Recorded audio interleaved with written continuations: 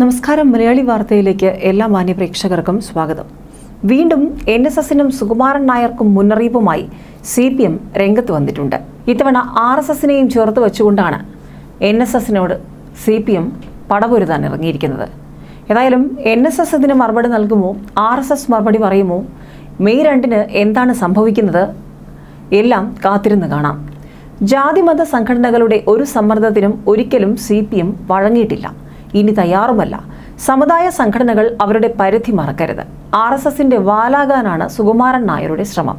സമുദായ അംഗങ്ങൾ ഇതിനെ ചെറുക്കും. വീണ്ടും N S S general secretary Sukumaran നായർക്കെതിരെ ഇത്തരത്തിലുള്ള കടുത്ത പ്രസ്താവനയുമായാണ് സി പി എം സംസ്ഥാന സെക്രട്ടറി എ വിജയരാഘവന്റെ രംഗപ്രവേശം.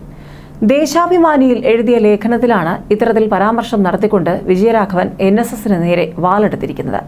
വോട്ടെടുപ്പ് ദിവസത്തിൽ വിശ്വാസികൾ പ്രതിഷേധത്തിലാണ്. ജനങ്ങൾ ഭരണമാറ്റം ആഗ്രഹിക്കുന്നതായും ജി സുകുമാരൻ നായർ അറിയിച്ചിരുന്നു.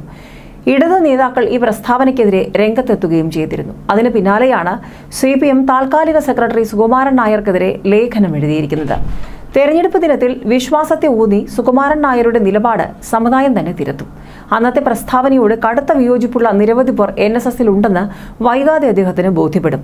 സുകുമാരൻ നായരുടെ താല്പര്യം സമുദായത്തിലെ പാവപ്പെട്ടവരുടെയും സാധാരണക്കാരുടെയും താല്പര്യത്തിന് എതിരാണ്. ജാതിമത സംഘടനകളുടെ ഒരു സമ്മർദ്ദത്തിനും ഒരിക്കലും സി പി എം വഴങ്ങിയിട്ടില്ല. ഇനി തയ്യാറുമല്ല. സമുദായ സംഘടനകൾ അവരുടെ പരിധി മറക്കരുത്. അതിനുള്ളിൽ പ്രവർത്തിക്കണമെന്നും വിജയരാഘവൻ കൂട്ടിച്ചേർത്തു. അതായത് വലിയൊരു മുന്നറിയിപ്പ് നൽകിക്കൊണ്ട് എൻ എസ് എസിനെയും സുകുമാരൻ നായരെയും കൃത്യമായി ലക്ഷ്യം വെച്ചുകൊണ്ടുള്ള പുതിയ അമ്പാണ് വിജയരാഘവൻ തൊടുത്തുവിട്ടിരിക്കുന്നത്. കഴിഞ്ഞ ലോക്സഭാ തെരഞ്ഞെടുപ്പിൽ എൻ എസ് എസ് സ്വീകരിച്ച നിലപാടുകൾ വലിയ തിരിച്ചടിയായത് എൽ ഡി എഫിനാണ് എന്ന് കൃത്യമായി വിജയരാഘവൻ അറിയാം. സമാനമായി തന്നെ കഴിഞ്ഞ നിയമസഭാ തെരഞ്ഞെടുപ്പിൽ ഇക്കഴിഞ്ഞ നിയമസഭാ തെരഞ്ഞെടുപ്പിൽ വോട്ടെടുപ്പ് ദിവസം സുകുമാരൻ നായർ പറഞ്ഞ കാര്യങ്ങൾ വെള്ളിടി പോലെയാണ് എൽ ഡി എഫിന് മേൽ പ്രത്യേകിച്ചും സി പി എമ്മിന് മേൽ വന്നു പതിച്ചത്.